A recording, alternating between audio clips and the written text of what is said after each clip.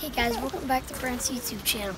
Today we are in Heidelberg, Germany and visiting the Heidelberg Castle.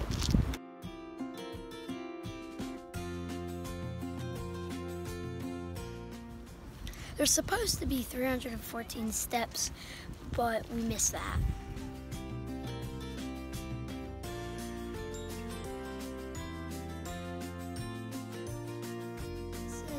This castle was built in the early 1200s and it was destroyed three times. Two times by the French and one time by a strike of lightning.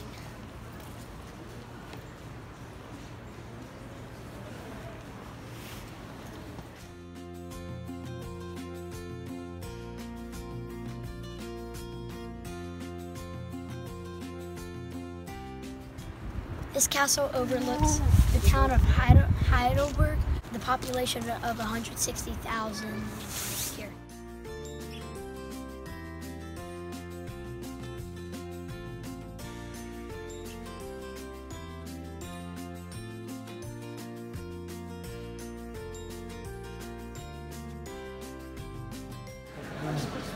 We're back, and this is the biggest wine barrel in the world and it, it holds 58,000 gallons of wine.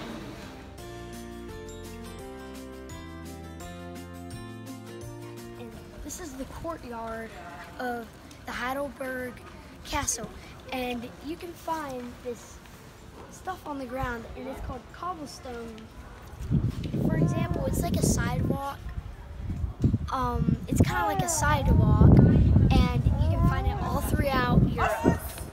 This is the torch room of the castle, and it holds a It's 40 meters high, and if you can see those windows up there, that's where the guards used to guard the castle. In Europe, they use the metric system to measure. I would highly recommend this this trip, but it's a lot of walking. That's all for today on our Heidelberg our Heidelberg tr trip. Please subscribe, like, and we'll see you in the next European video. Bye.